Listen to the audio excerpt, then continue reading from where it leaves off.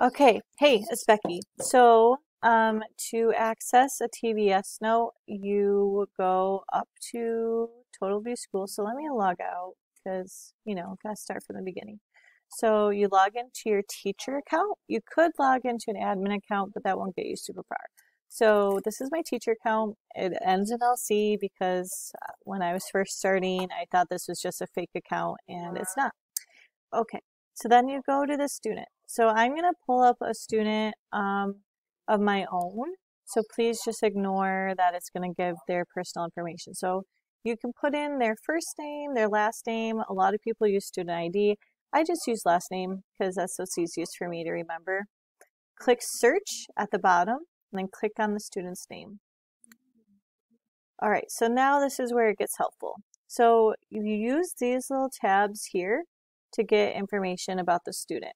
So if you want, you could click here on notes in order to see the notes that have been made in the past. So you can see the student already has a running note. In this case, um, you can see all the other notes others have left before. To create a new note, you just go right here to where it says new note. So you don't even have to be in the notes. I just always do that because I like to look at their notes before I make a new one. You click new note and then it opens. When it opens, it'll go just to the student. You can add a tag. You don't really need to. Um, so what I usually do, the simplest way is just go here to templates.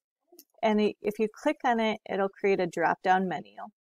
So of that drop-down menu, we're looking for the one that says SY2122 SRC running note. That's the running note Christian just created uh, yesterday, which is awesome.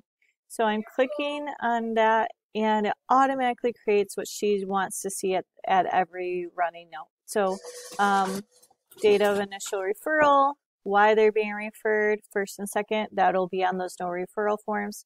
Um, initial contact attempt, closed if applicable, um, and then underneath you're going to do running notes. So um, adding updates when you reach out again, when you have contact, um, those periodic notes. You click save. Um, I'm not going to click save because the student already has a running note, but if I were to do that, I would be clicking save. Right now I'm clicking cancel, and then that creates the running note. Um, so hopefully that helps. Um, and then you can always access the running note from your account and you can always edit it. All right, thanks. Bye.